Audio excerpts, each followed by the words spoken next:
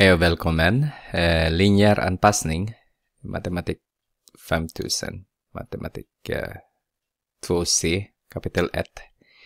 Den här är också samma som finns i matematik 2B och matematik 2BC. Men det är i kapitel 4. Så, men vi tittar. Jag tror ni kommer att gå igenom en gång till den här.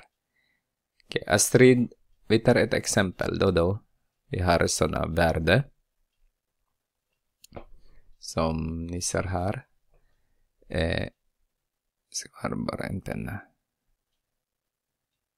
Som ni ser här. Vi har eh, x och y. Där är x och där är y. Eh, mätningar på längden på y centimeter av en stockros heter det. De har gjort det. Och man kan göra en eh, eh, man kan sätta in dem i i graf. Så till exempel 4 14 så har vi den punkten. 4 och 14. Där punkten. Och 6 och 22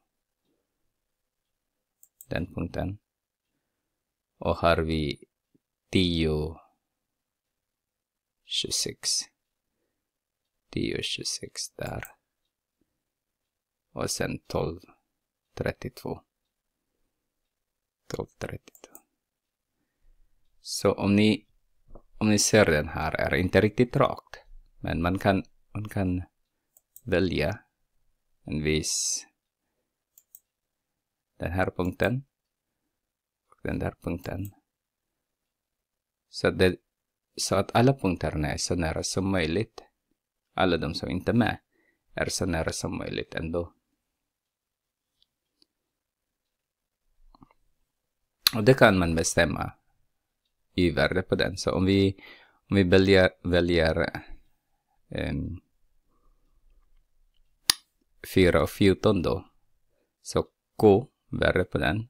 Och vi har valt den här. Och den där. Som vår exakta värden då. Så kan man räkna k-värde på dem. Som vi har 32.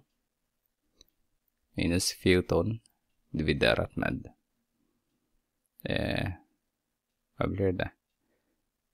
12 minus 4.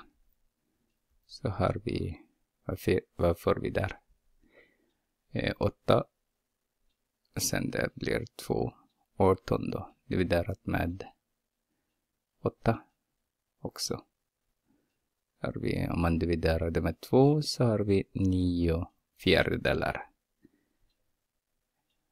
Eller 2,25. Om man bestämmer ämne då, så har vi, om vi använder 4 fortfarande, så har vi 4 är 14 är lika med 9 fjärdedelar multiplicerar med eh, 4 plus 5. Den här blir 1. Så har vi eh, nio 9 plus 1 och 14. Då har vi minus 9 minus 9. Då har vi m är lika med 5.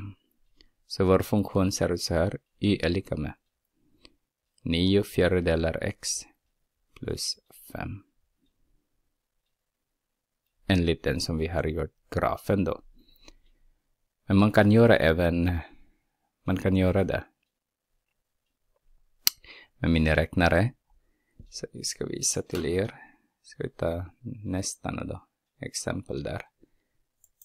Så. Och sen tar jag fram min skärm. Så kan man ta stat. Den där är stat. Och sen exe. Ser ni att vi har, jag har lagt redan. Men hur, man, hur gör man det? Så i list 1 så skriver man 4, alla x-värden. 4, 6, 10, 12. Exe bara, exe, exe. Okay, jag gör med y-värde. Här 14 exe, 22 exe, 26 exe, 32 exe. När man är klart med den så tar man en graf, F1, och tar vi graf 1 ser det ut så. Egentligen. Men om vi kalkylerar den och vi ska ta eh, vi ska välja två var. Exit. Graf. Kalk. X. Välja AX plus B då. Välja den. Som ni ser där så har vi A som är 2, B som är 7,5. Det är den som är närmaste. Så har vi Y är lika med 2x plus 7,5. Det, det, det är den bästa som vår miniräknare kan ge. Ska vi se en gång till.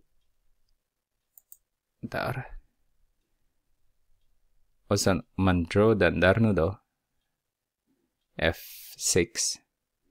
Så, sen passar den på Ännu bättre. Den som jag har tagit är inte det bästa, om man säger så.